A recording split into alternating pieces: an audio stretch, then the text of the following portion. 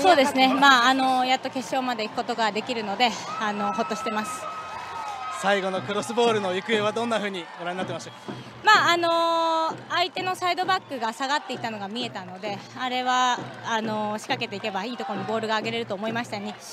中にしっかり大宜選手と岩渕選手がいてくれたので、まあ、結果的にああいう形になったんじゃないかなと思います。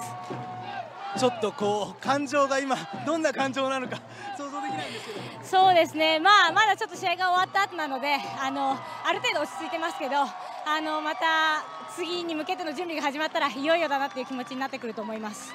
苦しい時間帯もかなりあったと思うんですけどもゲームの中ではあのどんなふうにそう流れ変えようというふうに考えてたんですか、まあ、やはり相手もかなり前から来ていたので自分たちもこう押し返してもなかなかつなげなかったんですけどそれでもじれずにやっぱりやっていくのが自分たちですしそれを90分間やり続けた結果じゃないかなと思ってます。やっぱり準決勝は持ってますね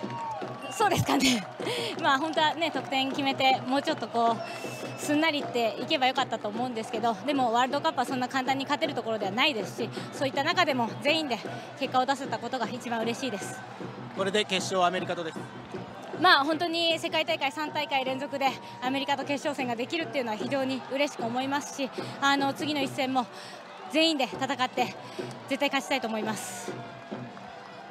熊持ってますね、はい安藤選手もバンクーバーに来れることになったと思うのであの本当に23人全員で戦いたいなと思います。決勝もいいゲーム期待します。はい頑張ります。ありがとうございました